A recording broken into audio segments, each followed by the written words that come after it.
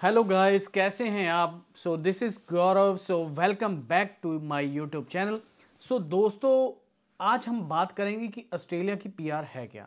क्योंकि बहुत सारे लोगों के मुझे सवाल आते हैं कि वो ओवरसीज़ में है मींस इंडिया में है, नेपाल में है, पाकिस्तान में है या कहीं भी है मतलब।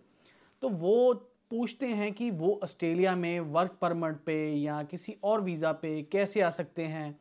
वो बात करते हैं कि उनके पास 10 साल का किसी भी स्किल ऑक्यूपेशन में एक्सपीरियंस है चाहे वो ट्रेडमैन है चाहे वो किसी कोई उन्होंने बैचलर या मास्टर की हुई है चाहे वो इंजीनियर हैं चाहे वो डॉक्टर हैं।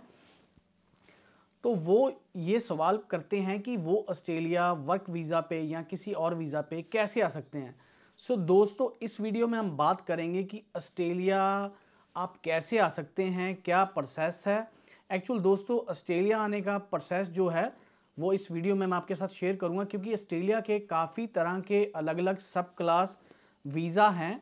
तो उसके बारे में आपको सबसे पहले जानना होगा और ऑस्ट्रेलिया की पीआर के लिए क्या एलिजिबिलिटी आपको मैच करनी पड़ेगी किन किन चीज़ों की रिक्वायरमेंट्स हैं और उसके आगे क्या प्रोसेस है।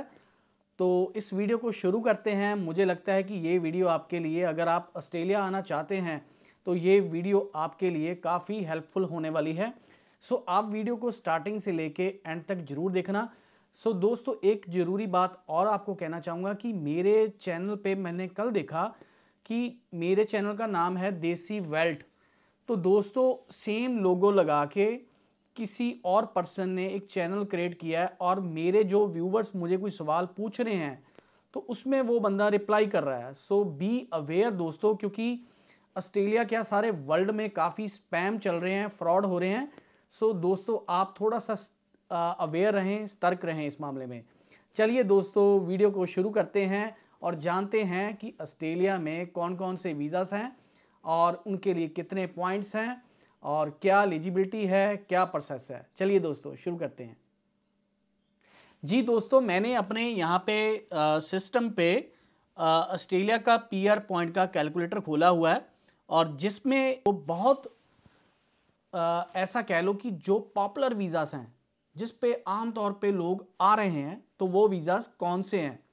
सबसे पहला जो वीज़ा है वो है बिज़नेस क्लास उसको छोड़ देते हैं क्योंकि उसके लिए इंडिया से बहुत कम लोग एलिजिबल हो पाते हैं इंडिया से पाकिस्तान से श्रीलंका से कहीं से भी। बहुत कम लोग बहुत कम रेशो है उसकी। तो बाकी जो पॉपुलर वीज़ास हैं उनकी बात करते हैं सबसे पहले स्किल्ड इंडिपेंडेंट वीज़ा है subclass one eight nine. One eight nine. Screen पे भी आप देख लोगे।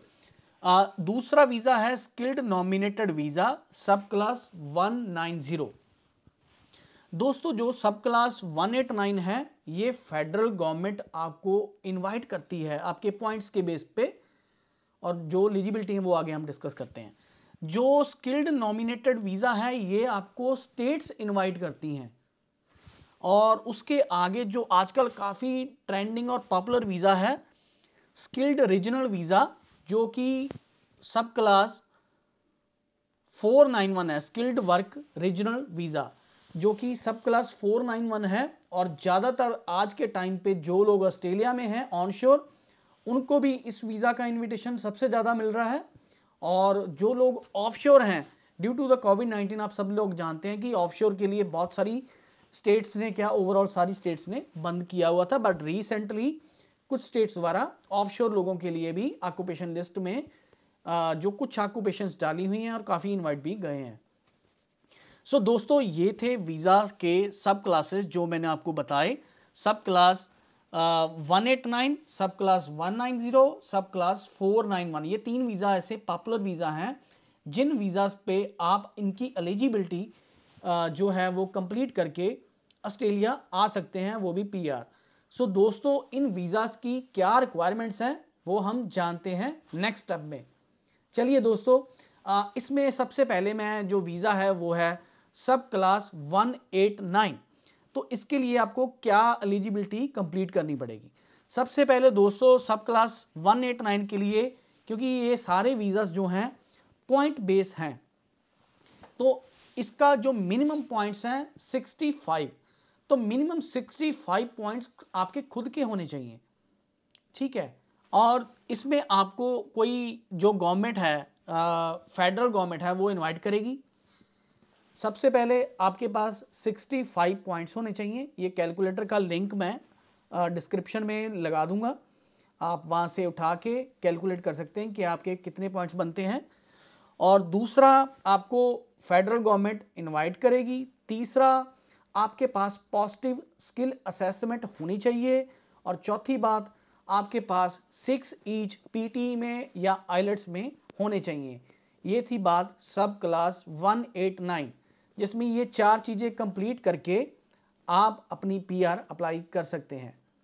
सो so, दोस्तों नेक्स्ट वीज़ा है subclass one nine zero so दोस्तों ये जो वीज़ा है मैंने आपको बताया स्किल्ड नॉमिनेटेड वीज़ा इसमें भी दोस्तों आपको सिक्सटी फाइव पॉइंट्स मिनिमम चाहिए, जिसमें सिक्सटी पॉइंट आपके खुद के होने चाहिए। मतलब साठ पॉइंट आपके खुद के और पाँच पॉइंट सरकार की तरफ़ से आपको मिलेंगे।